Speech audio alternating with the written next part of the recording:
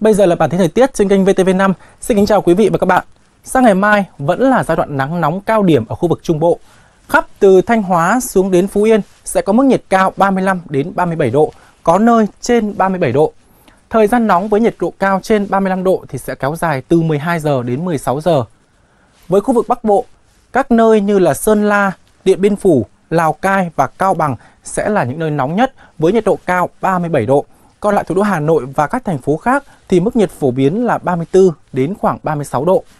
Trưa chiều nắng rát, còn buổi đêm và sáng thì không khí vẫn dịu hơn. Với khu vực Tây Nguyên và Nam Bộ, dự báo sáng đến trưa mai trời vẫn có nắng, nhiệt độ ở các thành phố Con Tum, Pleiku, Buôn Ma Thuột xuống thành phố Hồ Chí Minh và các nơi khác ở Nam Bộ, mức nhiệt là 29 đến khoảng 33 độ.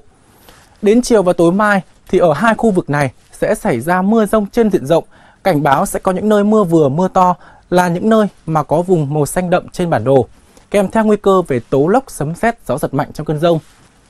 Trên biển, huyện đảo Trường Sa cũng là nơi được cảnh báo có mưa rông, dễ kèm theo lốc xoáy và gió giật mạnh. Còn trái lại huyện đảo Hoàng Sa, ngày mai thời tiết tốt, trời có nắng tầm nhìn xa trên 10 km và gió nhẹ. Cuối bản tin sẽ là phần dự báo cho các thành phố trên cả nước vào ngày mai.